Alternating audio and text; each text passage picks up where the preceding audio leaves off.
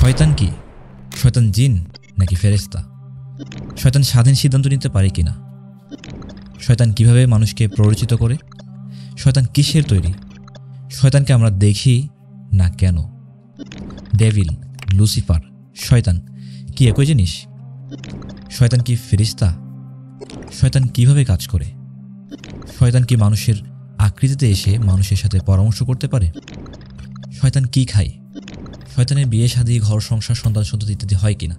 এই সব কিছু নিয়ে আজকে আমরা আলোচনা করব।